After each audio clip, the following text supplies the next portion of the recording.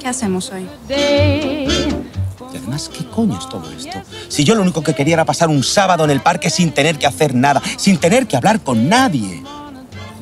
Bueno, contigo sí. Claro. No sea que tengas que relacionarte con alguien que no te comprenda tu drama.